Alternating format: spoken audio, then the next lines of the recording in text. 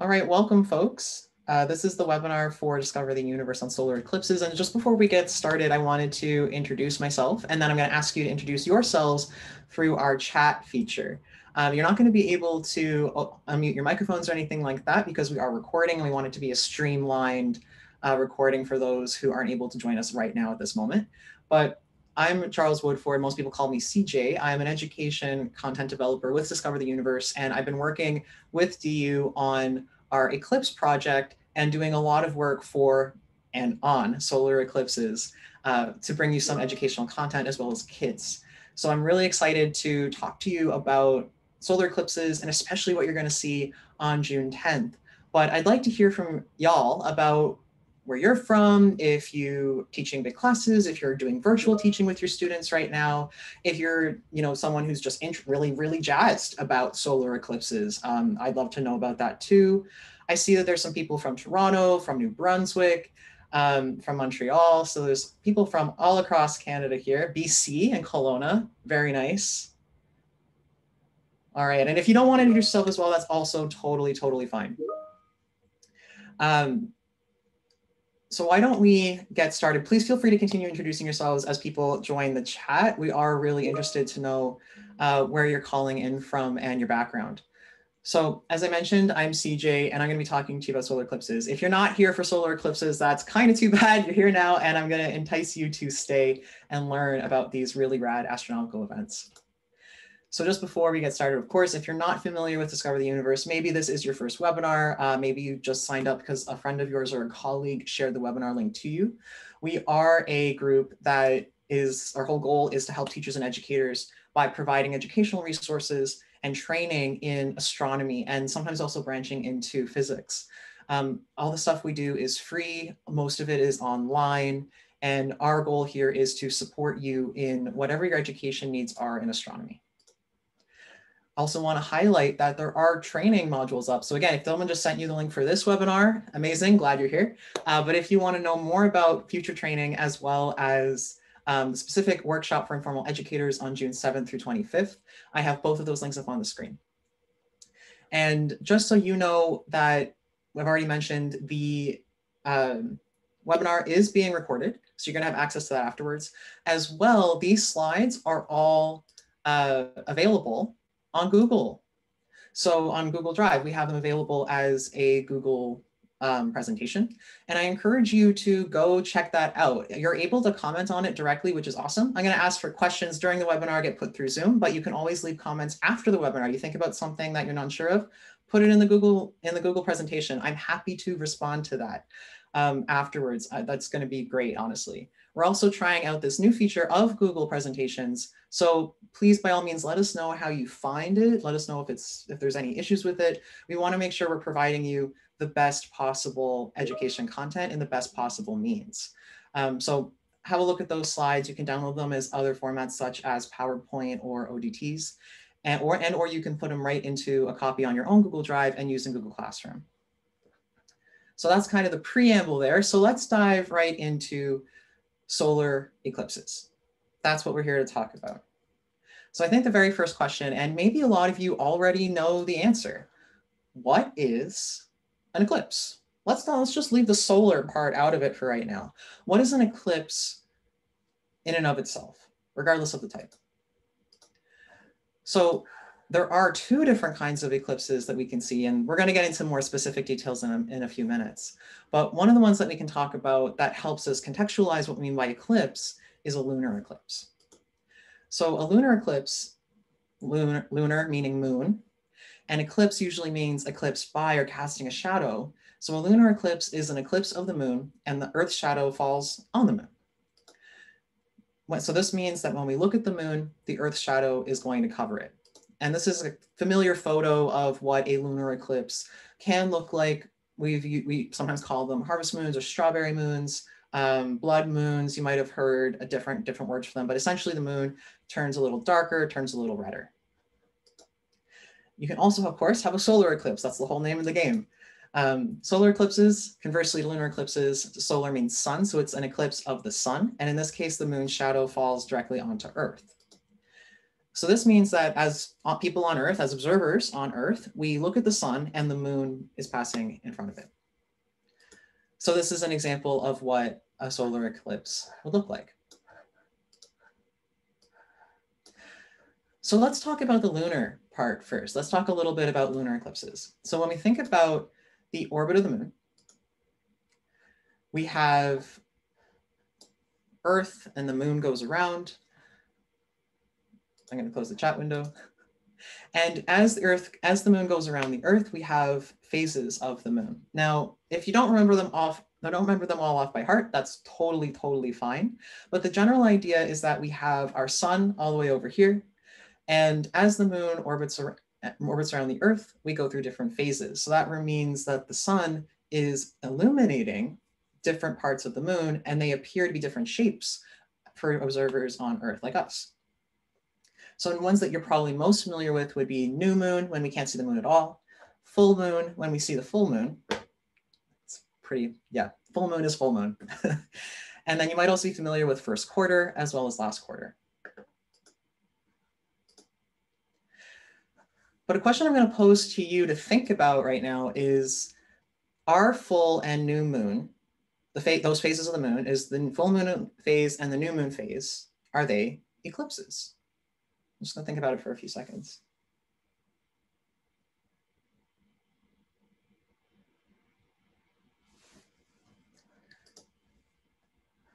And a visual to help you think about it. But the answer is no, not all, no, they're not, they're not eclipses. Um, so this is actually because an, a lunar eclipse or an eclipse at all is kind of hard to come by. They need to have just the right positioning or just the right alignment of the Earth, Moon, and Sun system. And the moon's orbit is not completely aligned with the Earth's orbit around the sun. So just because the moon is passing in front of the Earth does not necessarily mean it's passing directly between the Earth and the sun. So we call this slight tilt to the moon's orbit an inclination, and it's a five degree inclination. And this five degrees, even though that kind of sounds small, is a big deal in the way that that alignment is tricky to have for the moon and the earth and the sun to be completely aligned to create either a lunar or a solar eclipse. But that being said, eclipses are not necessarily rare. Uh, they do happen about twice a year, once every six months. So another thing to think about is that if we're saying an eclipse happens approximately every six months, how often does a lunar phase happen? How often do we see a full moon or a new moon? I'm going to remind you that the um, lunar orbital cycle is about 28 days. So we see one of these phases every 28 days, and that's a lot more frequent than twice a year. So either way you look at it, whether you think about it in terms of how fast does the moon move around Earth or the fact that it's really hard for these three bodies to align just right to create any kind of eclipse. Uh, full moon and new moon are not eclipses, but they are cool, very cool phases of the moon. What we want to point out though is that this is kind of the season of eclipses, uh, not just this year, but also in the next few years, especially as we lead up to 2024, which you may or may not heard, we have a pretty rad total eclipse that's going to be passing right over, right over um, Canada or parts of Canada.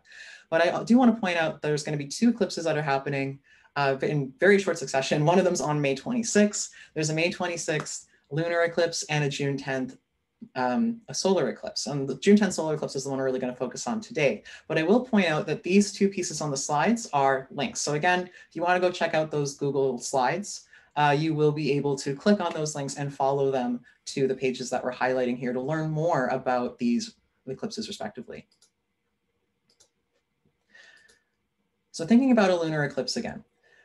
A lunar eclipse is when we have alignment of the earth, moon, and sun. And in this case, it's when the earth is between the sun and the moon. So the earth is going to cast a shadow on the moon.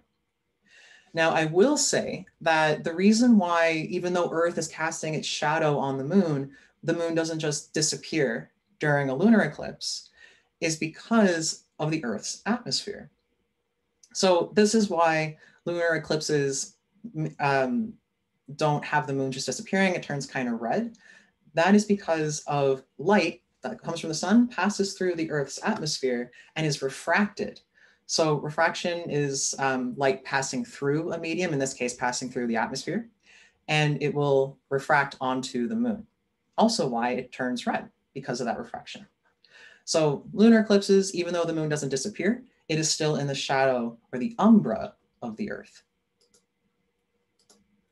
And so just repeating that real fast, when the moon is completely um, in the Earth's shadow, it'll appear dark red. And that is largely because, or 100%, because even though it's in the Earth's shadow, uh, the light refracted from the Earth's atmosphere is refracting onto the moon.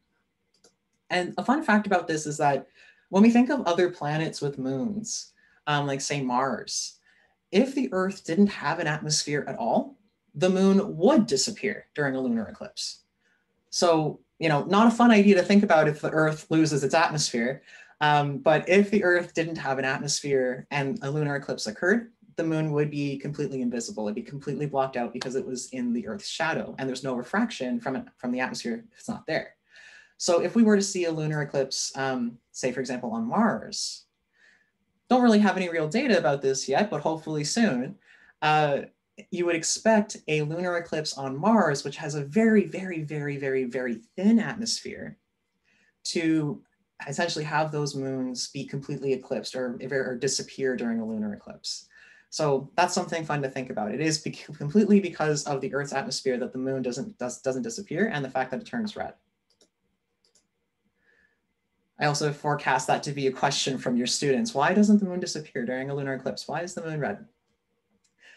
Switching our gears into solar eclipses, it, this is when we have, again, an alignment of the sun and the moon and the earth.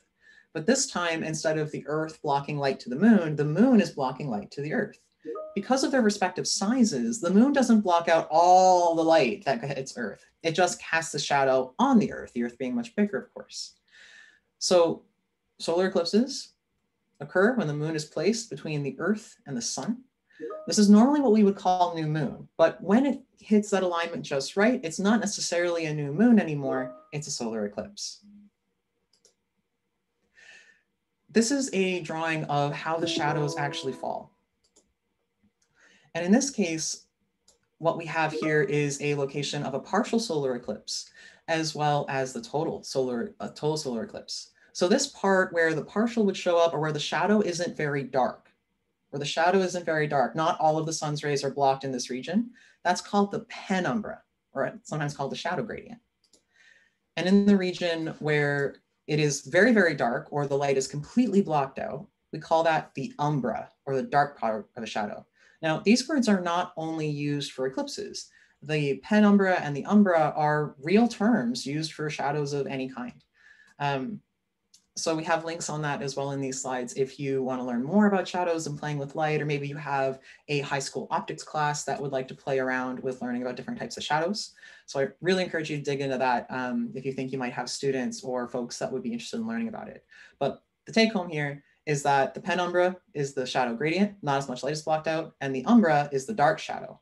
And that's where more or all of the light is blocked out. And that's where we would call the path of totality in the case of a solar eclipse or where most or all of the light is blocked.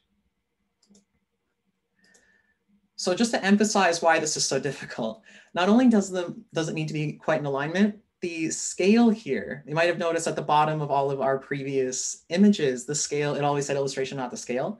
This one is to scale. So the sun is somewhere way over on the edge of the screen. Can't even put it on the picture because it's so big.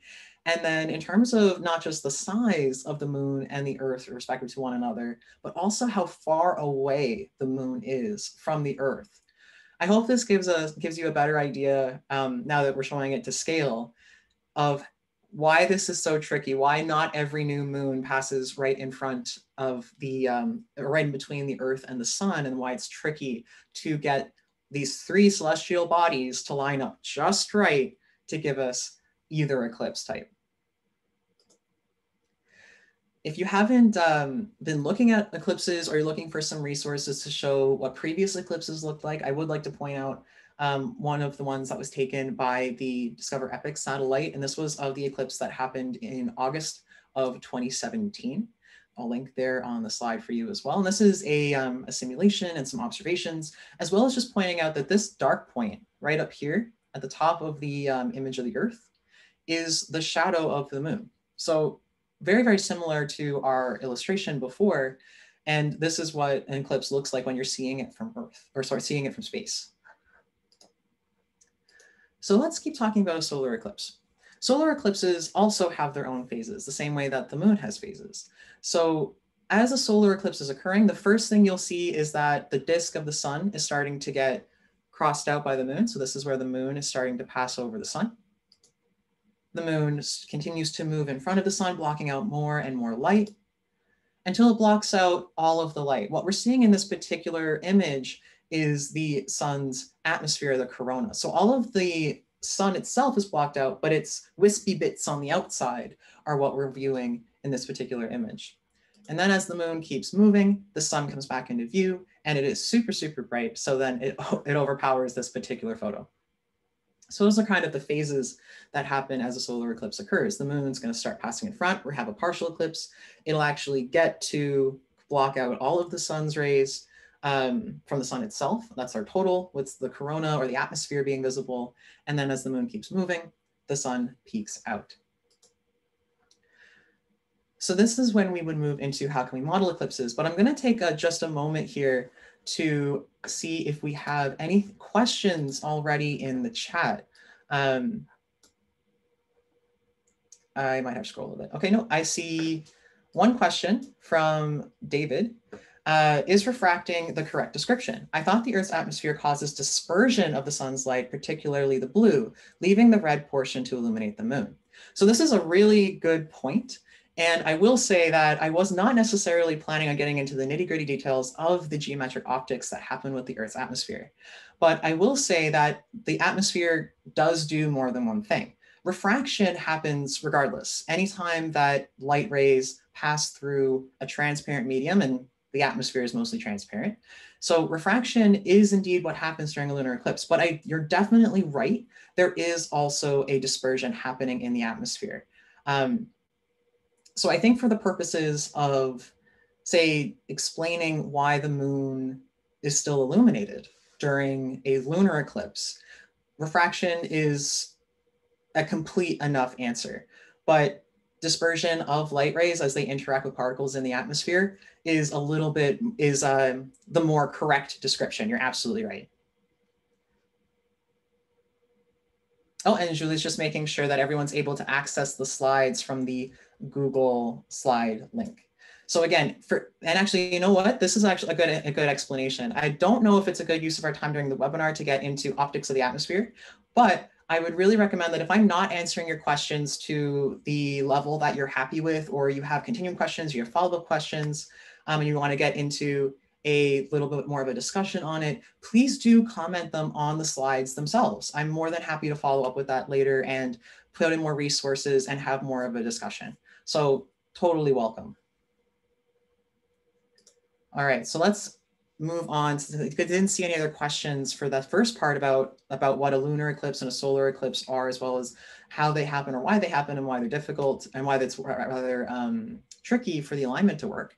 We can talk about now, how do we model eclipses? Because again, this is a webinar intended for how do we talk and educate folks on eclipses. So it's twofold. We're learning and we're teaching. So one of the one of the ways that can be low cost, something you might already have in your classrooms or at home or easy to, to get, would be to model with balls and or balloons, again, depending on what you have. So this could look like, again, if you want to if you want to shell out for a really fancy earth um, like beach ball, get something custom printed. I think that's super fun, but not necessary uh, to enjoy this particular um, activity. So this is indeed a simple model. It's not to scale, but what it can do is allow an understanding of shadows, the positions of the earth, moon, and the sun. So low cost, effective. You don't have to worry about small parts getting uh, swallowed and choked on or anything like that. So this is a good one for young children and young classes. Um, or something where you might need to have a lot of kits or a lot of demonstrations happening at the same time because it is low cost. So you'd want to have a big one for the earth or a terrestrial globe or a beach ball you'd want to have a small balloon or a small ball for the moon.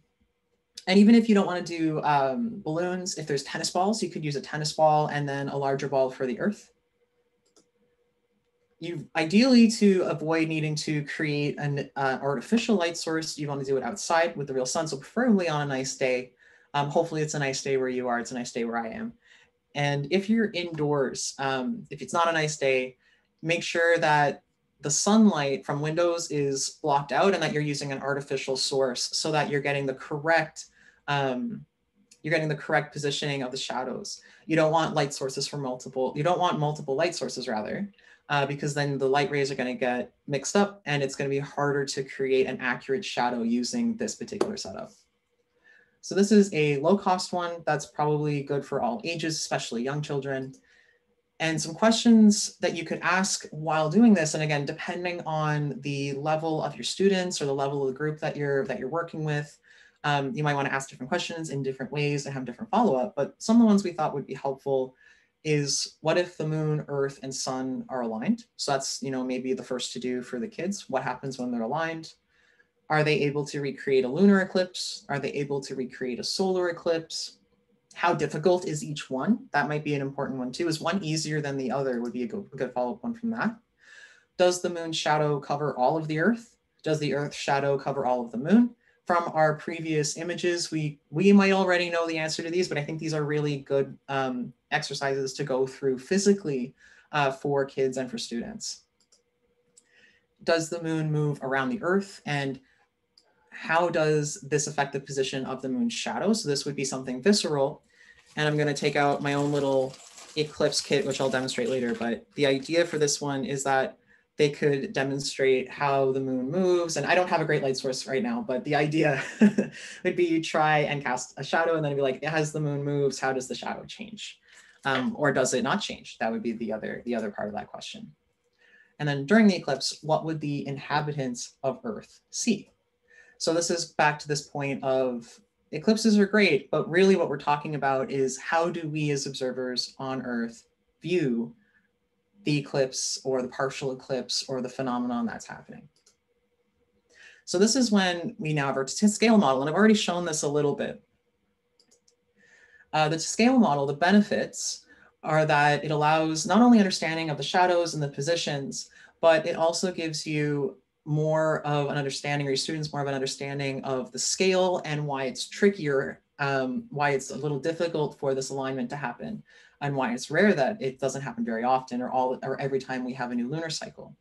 So I've already held up two of the pieces that are from this, but the idea is that you have um, two little, two balls, one, the big one's the earth and the little one's the moon.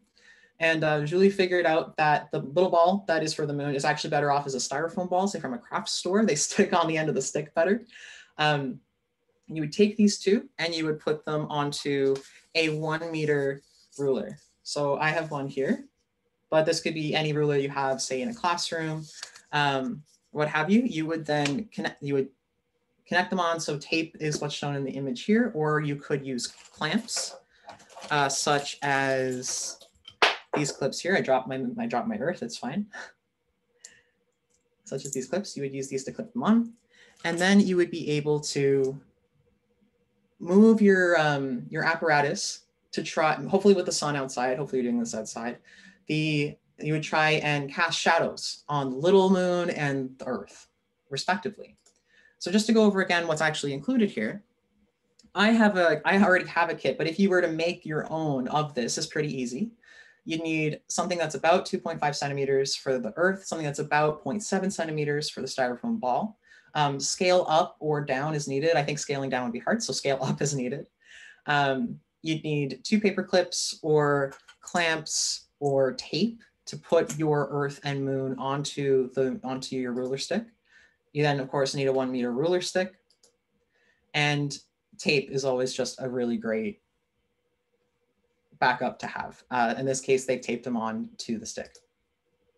So the difficulty with scaling is that when on the ruler stick with these exact sizes of the balls that we've said here, if you place them 75 meters apart, it'll give you a two scale model of the Earth Moon system. So if you're scaling up, you're also going to have to scale up the distance between the Earth and the Moon, and that is probably going to get that's probably going to get larger than one meter really, really quickly. So again, this slide, if you're going to make it yourself, uh, please do follow the numbers on here if you want it to be truly to scale. And as I was mentioning about the method, you would, once you have everything on your ruler stick and you've got the right balls in the right places, um, hold the ruler at towards the sun, so in line with the sun. And you want to see how you can align the earth and the moon to create eclipses. Uh, the earth closer to the sun if you want to try and create a lunar eclipse and the moon closer to the sun if you want to try and recreate a solar eclipse. Now, this is hard. um, you want to be careful not to create a shadow with your hands and you don't, and you want to um, move the ball. You want to have the balls high enough off, off the ruler so that the ruler is not casting a shadow. And so there's a bunch of things to keep in mind here, as well as the fact that the alignment is just hard to accomplish. Um, the same reason why it's not all the time that we have solar and lunar eclipses that are visible on Earth is the same reason why this activity is a little tricky and it might be better suited to slightly older students. Um, say grade six and up or 12 and up might be a good, a good place to start, but up to you, you know your students best. Um, so because the alignment is quite difficult, it takes some fine motor skills. Uh, one way that you can do it, or you can suggest for your students to try it, is to align the shadows on the ground. So the idea is you would be holding your meter stick, and my meter stick doesn't have uh, a moon and earth on it just yet. But you'd hold your meter stick, and then as your light source is coming in, I would look down at the ground and I would move my meter stick around in whatever directions are necessary to try and get the shadow of my earth ball and my moon ball to align on the ground or on the floor um, under underneath the ruler. So that would be the goal and that would be the kind of the, the trick there to get that to work. And so what you can expect to see is the shadow of the moon being um, projected onto the earth if you're showing a solar eclipse. And so really showing it, this is a 2.5 centimeter wide ball. And that's the size of the shadow. If you think back to the projection um, or the image of the 2017 solar eclipse that was shown by a satellite, you'll you might look at those comparisons and say, wow, that shadow is actually quite accurate. Again, our two scale model is doing its job, it's to scale. But it is also a very small shadow on a very small ball, hence the difficulty with doing this particular one. It takes some fine motor skills, as I mentioned. If you want to do a lunar eclipse, you just want to make sure that you're highlighting the difference between an illuminated moon, which would be a full moon in this case, and an eclipsed moon, which is your lunar eclipse. So in the same positioning of the Earth being between the moon and the sun, you can either have your full moon or your lunar eclipse. And this would be a good um, exercise to showcase those differences, how the shadow of the Earth falling on the moon is what creates that lunar eclipse. And so as I've been hinting at, there is indeed a model you can buy of this if you don't want to make it yourself uh, and you have the funds to do so. And so this kit does indeed come with the earth. It comes with the little moon. It comes with the clamps to hold them on, and it comes with a collapsible ruler. And it's even um, it's even branded, which is which is nifty too.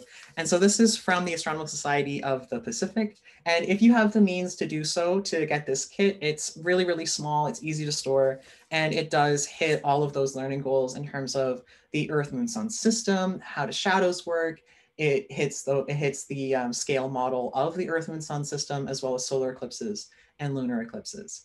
Um, so this is a great one to either make yourself or as highlighted on this particular slide to purchase, which is fun.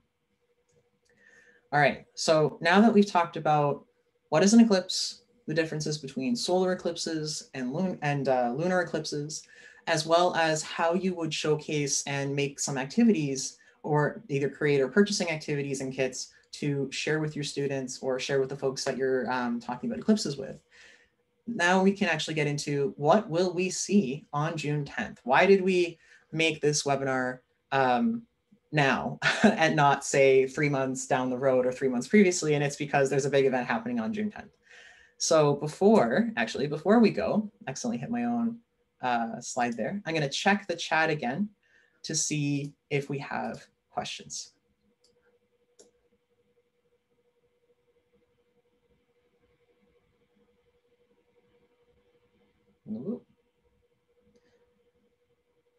All right, looks like there's questions about the link for the slides, link for the kit, Perfect. All right. So if everyone has everything they need from what we've talked about previously, access to the slides, access to the links on the slides um, as well, then it looks like we're good to go to talk a little bit about what's going to happen on June 10th and why are we so jazzed about it. So as part of the event that's happening on June 10th, or rather, let's let's actually just let the let the cat out of the bag. on June 10th, we're going to see an annular eclipse. It is very specific to northern Canada for the large part. That's the that's the area of Canada that's going to be in the path of annularity. So they're going to see the best view of the annular eclipse, but that does not mean we're not going to see some pretty rad views in other regions of Canada um, as far west and north as, as Yukon and as well as far east as Newfoundland. So I saw some people calling in, logging in from New Brunswick um, and other and some places in Ontario. We are going to see the eclipse. We're just not going to see the full eclipse, and that is still totally fine because partial eclipses are rad too. Um, so we're going to get a little bit further into what is an annular, annular eclipse and how is that different from what we've already talked about, as well as how to view it safely and some cool challenge things. So I wanted to let the cat out of the bag a little early because I think it's just rad that we have another eclipse happening so soon. But what have we done to make this more accessible, make the content more accessible and fun and interesting for you? Well, the first thing is that we have partnered with, um, we've been partnering with the uh, Canada, France, Hawaii Telescope or CFHT. And one of the folks that we're really happy to collaborate with a lot is Lori. And this is one of her videos on which is talking about Indigenous tales. And this particular video, as well as some other videos that um, she has done with with us uh, for the eclipse specifically, it has available subtitles in a number of indigenous languages. So if you are someone who lives in a community where one or multiple of these languages are used or spoken, please feel free to go check out the Vimeo for CFHT and find the video that works best for you and your community and your students. Um, or if you want to showcase a language that's spoken in a neighboring community or something, whatever you want. Just go look at the videos. They're really rad, no matter what language you speak or use. Um, I think everyone can take something from the videos that Larry has posted. So let's talk about the annular solar eclipse. This is where we get into how is this different from a solar eclipse or a lunar eclipse? And well, an annular eclipse is just shorthand for annular solar eclipse. So uh, it's not a third one. Thank goodness we don't have to worry about learning a third type of eclipse. The annular solar eclipse is, though, is however distinct from what we normally call a total solar eclipse. And this one is when the moon still passes between the Earth and the sun, uh, but the moon is further away from Earth than usual.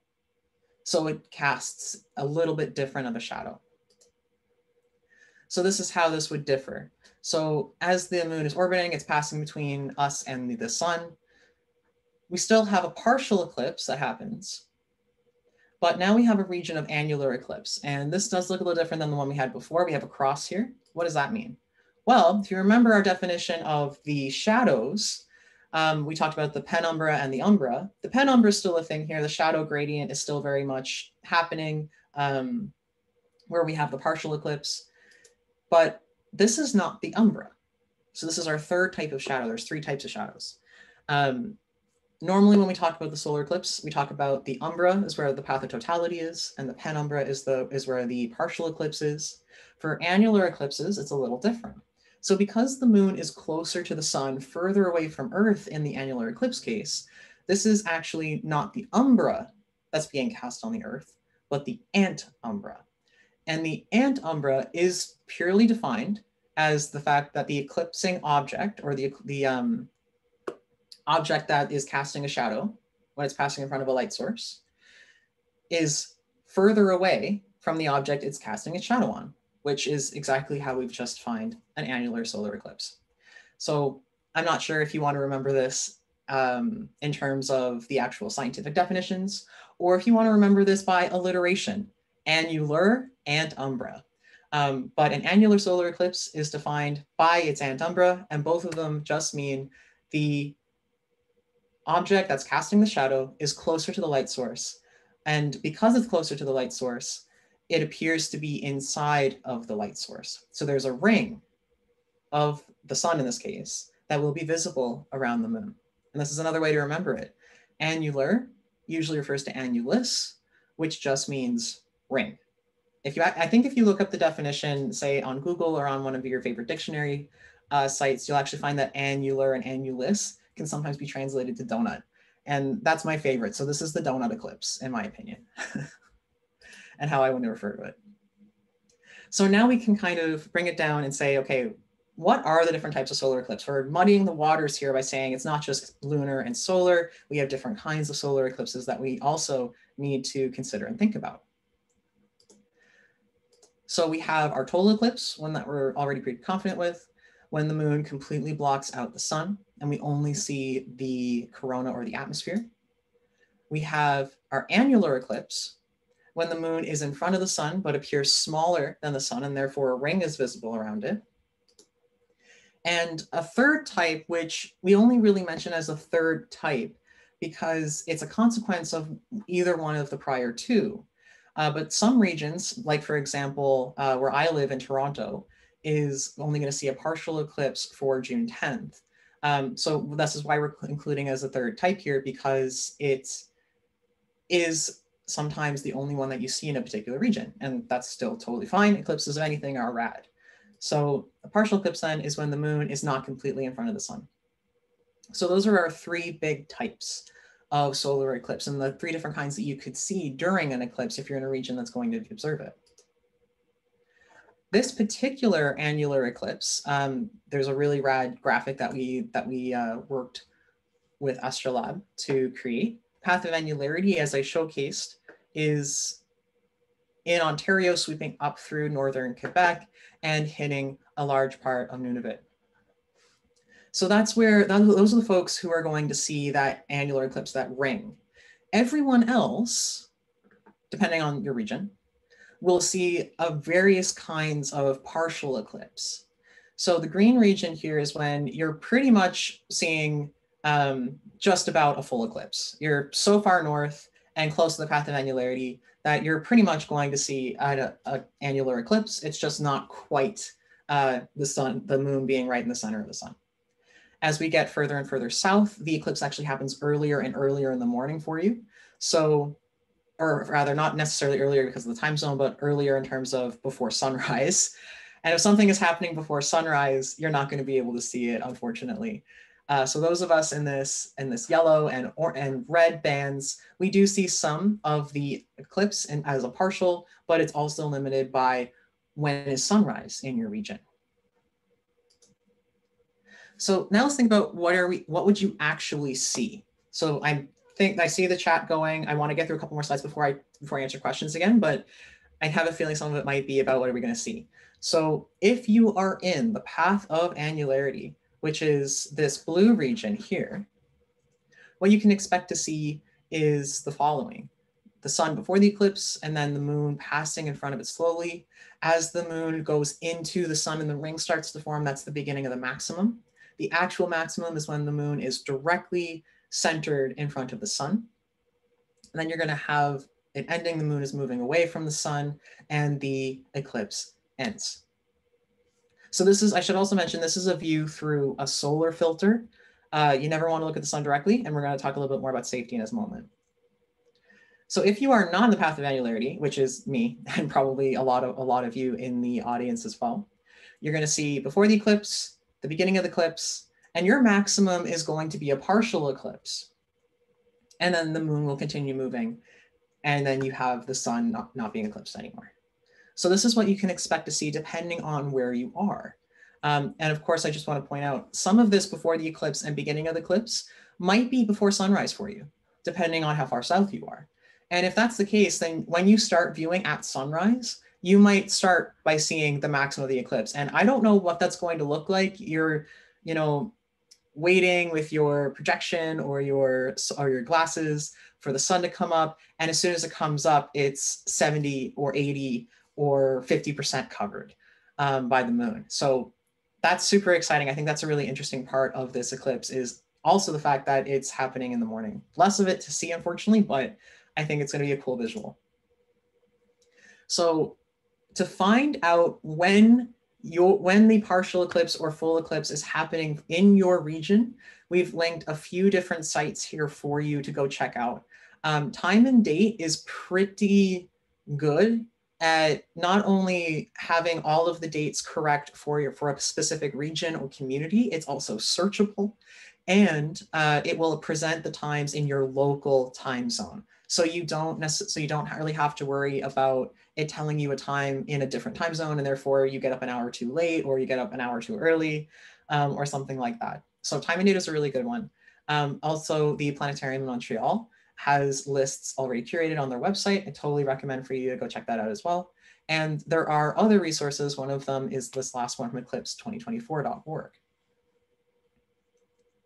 But as I mentioned, those are your where these are where these are some of the places you can check out to find when your when to actually view the eclipse in your area and when the maximum is, when it's going to start, when it's going to end, so that you can kind of plan your morning accordingly. But when you are planning, just make sure that you are keeping in mind that you should never, ever, ever observe the sun directly with the naked eye. Um, this is really, really damaging, even during an eclipse, especially during an annular eclipse where not all of the sun is blocked out. Uh, it will likely damage your vision and it can cause blindness and it can cause other severe injuries in and around the eye. So please do not observe the sun directly with the naked eye. Uh, please use um, eye protective equipment that is rated for solar viewing, such as solar filters, or our uh, eclipse viewers that we had made for the for this eclipse in particular. We are all out of these uh, right now. All of our kits have already been spoken for, unfortunately, but there are other ways to get so to get glasses if you really want them. Just even if you can't get glasses, don't use sunglasses. I think that's the, the biggest one. Um, so never just say that, oh, you know, these sunglasses are really dark. I'm going to look at the sun with them. Don't do that. sunglasses are not cleared to view the sun directly. Um, only, only eclipse glasses um, or other similarly highly rated uh, eye protective equipment, such as welding goggles and things like that, could potentially be okay. But certainly, if you're unsure, check with the manufacturer. Um, and that would be your best way to that would be the best way to know never guess if something's good enough unless you're explicitly told that yes it is good enough by someone who works for that company or who's been has a part in making them in the first place so i already mentioned that we did have eclipse viewers um, that we sent out with eclipse kits to folks in the path of annularity as well as very very far north um, but what happens if you don't have eclipse viewers or eclipse classes because again we don't have any more of these unfortunately um, we sold out real fast so what do we do in that case? How do we still view the eclipse and have fun with it if you don't have eclipse viewers or eclipse classes? Well, another reason is another another thing you could do is the eclipse challenge. So we are asking for folks to participate in the eclipse challenge, especially if you don't have eclipse viewers, um, because we think that this is going to be a fun way to get people involved and still active with the eclipse and also allow you to view it. So this is an indirect viewing where we're asking folks to get creative with projection techniques. And all you need for projection is a small hole or, or a series of small holes that you face towards your light source, in this case, the sun, and project onto a sheet. So what's happening in this set of photos is that this is a sheet of paper that says Eclipse 2017 with holes poked in it. It looks like they weren't hole punched. It looks like it was kind of jabbed with a pencil. So you don't have to be high tech to do the projection technique. And they're just projecting it right onto another piece of white paper. So these are holes. But what we're seeing here are actual little projections, little images of the eclipse that happened in August of 2017. So this is a relatively simple form of projection. And what we're asking for people to do with the Eclipse Challenge is to get more creative. Um, you can totally do something like this and create a keepsake. That's 100% amazing.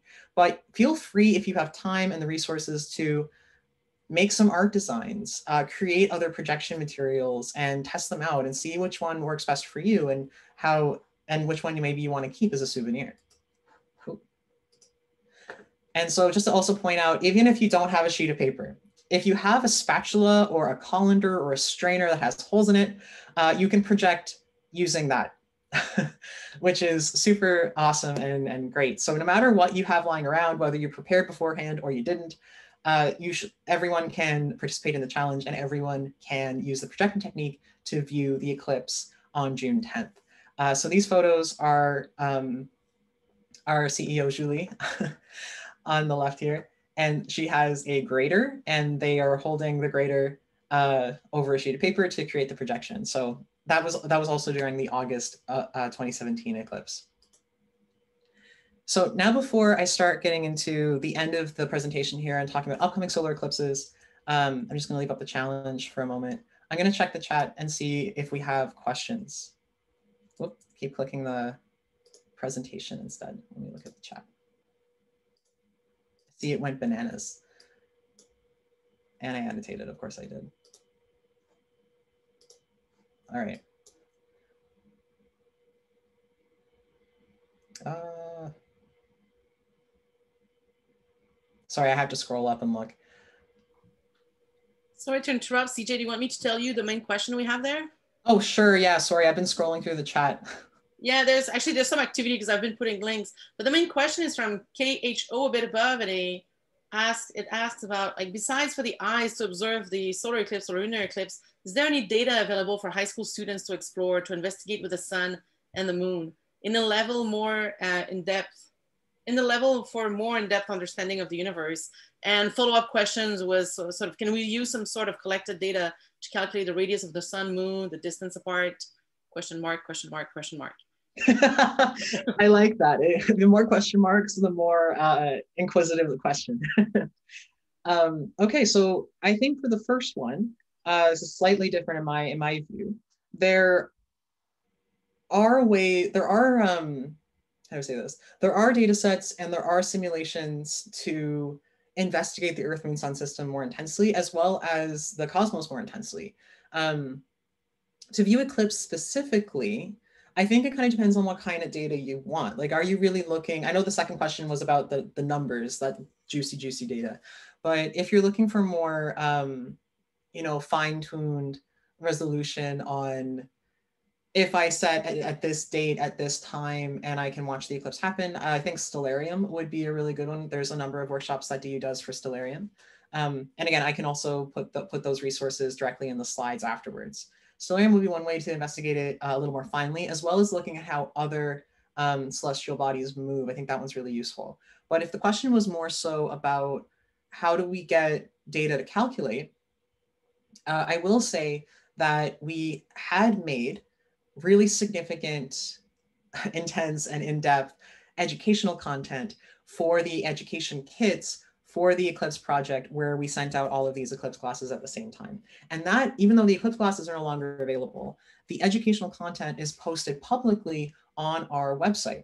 So uh, not on this post specifically, but on, um, it's at the bottom in the resources. I don't think I have it. Yeah, okay.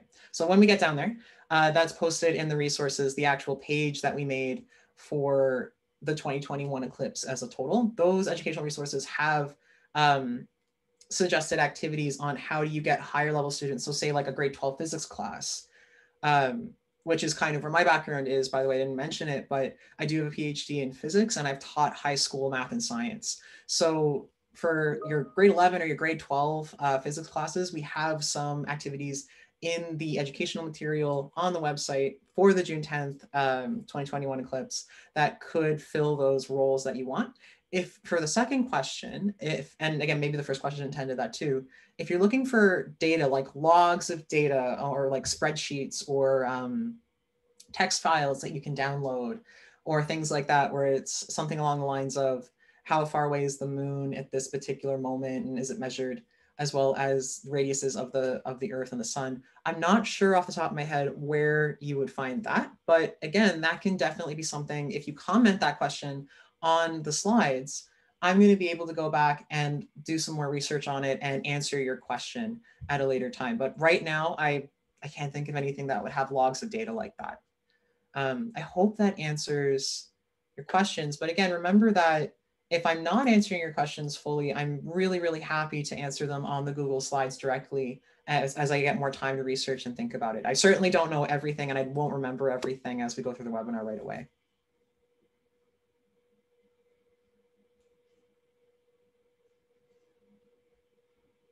Oh, and then there was also a couple of questions about more resources for showcasing uh, eclipses and demonstrating them. So we do know of a couple of places where you can demonstrate um, eclipses, lunar and solar eclipses pretty nicely. So definitely, again, those would be comments that will go right on the slides and I can answer them um, or I can give you those links directly in there and add them to the resources page and things like that. Okay, so if I think for now, in the sake of time, I'd just like to highlight some of the upcoming solar eclipses. So even though we have the eclipse challenge for June 10th, there are other eclipse, solar eclipses that are happening really soon. And I think that's, or there's upcoming eclipses in general that are happening. So big one, June 10th, 2021, it's an annular solar eclipse. We have the eclipse challenge for it. We have education materials for it. Um, we sent like there, there was a big project that DU worked on and we're also telling you about it right now. So I hope that the two-ish, three-ish weeks between now and June 10th is enough time for you to think about what you might want to do for it. And certainly please um, uh, engage in the challenge. We'd love to see what you're planning to do for projection or how you're planning to view the sun. Pinhole cameras, of course, are also a good option. Uh, there's going to be another annular solar eclipse in October of 2023, a total solar eclipse on, in April of 2024, a partial solar eclipse people in Canada in 2025, and again, a total solar eclipse, but partial in Canada in 2026. So the big one that the big two big ones that I would say you really want to focus on uh, or burn into your memory or put it in your Google Calendar is the one on June 10th. And then there's a, and then the big total solar eclipse is going to pass um, right through parts of Canada on April 8th of 2024. We're already starting to plan for that one. So expect big things to come, but certainly keep that date in mind. And lastly is our resources. So this is some of the links that Julie's been sending, but this is all of them together. So hopefully you're gonna be able to find everything you need. I can always add more later as well. Um, so there's the main page, which is discovertheuniverse.ca slash eclipse 2021. Also, if you just go to eclipse2021.ca, uh, that will bring you to that page. We, may, we wanted to be ready for internet traffic. Um, we also have our post that explains the challenge, the Facebook event for the challenge where all of the stuff is going to be, and we made a fun YouTube video in both English and French. Everything here, of course, is bilingual. Um, for the introduction of the eclipse, as well as some visual demonstrations of projection techniques. And I'm also going to invite that if you have questions specifically about what we talked about in the webinar, um, please do leave them in the Google Slides or send them in the chat now if we have time to answer them before the end. But if you have longer questions or um, you, I don't know, you feel like the comments in Google Slides are not sufficient, whatever, whatever floats your boat, please feel free to uh, contact me by email at charles at discovertheuniverse.ca. I'm very, very happy to answer your questions and talk to you about uh, the eclipse on June 10th. And other than that, I'm going to say the rest of the time might be open to questions for five minutes until until five o'clock my time. Um, but even if you don't want to contact us about the eclipse, you have other questions, uh, concerns, feedback, please do feel free to email us at info at discovertheuniverse.ca. Check us out on all our social media platforms um, as well as on our website for more cool training. So thank you so much for you know, attending the webinar. Uh, thank you for asking great questions. Thank you for engaging. And I'm really happy to answer any questions people have now in the last few minutes, if there are any.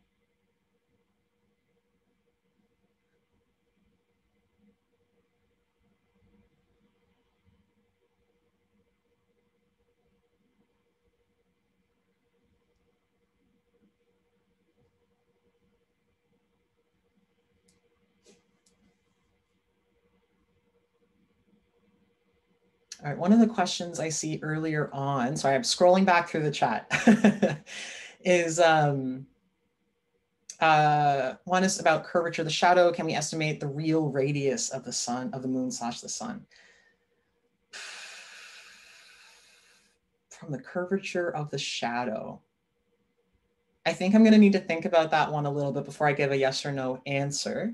Um, I think what this question is asking, because again, you want to clarify uh, what we mean by curvature of the shadow. I'm assuming what this means is curvature of the shadow in the way that when it's projected onto the earth, it is in like a, a spherical, sorry, circular shape. Um, so if you could calculate the curvature of the circle, could you then estimate the radius of the sun and the moon?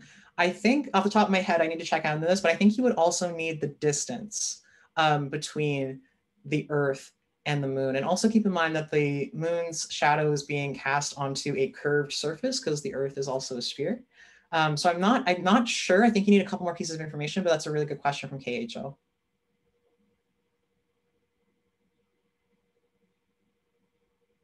I'm just probably to put my real serious physics hat on and think about that more.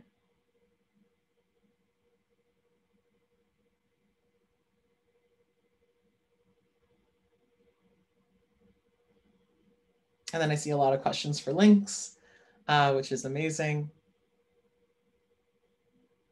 Oh, and then from KHO again, as I scroll up, uh, is Toronto in the boundary of the yellow and the pink region as shown in the slide? So I'm actually going to go back to that slide where we showed, this is where I regret my animations.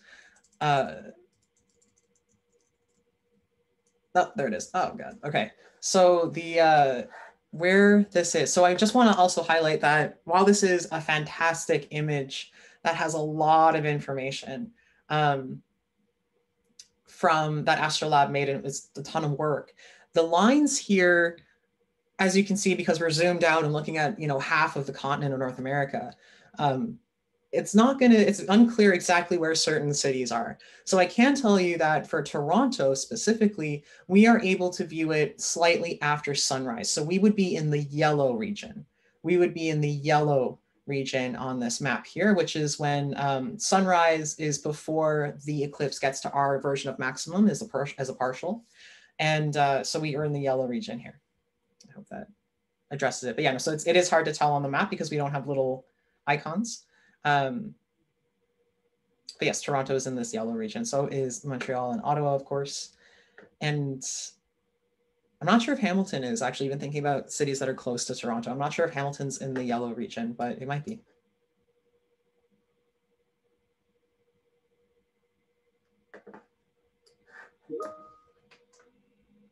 Okay, and if there's, I don't want to scroll back too far because I know that uh, we had questions earlier that I also answered, but I just want to say thank you again for coming to the webinar. I hope that it was helpful. I hope that you enjoyed it.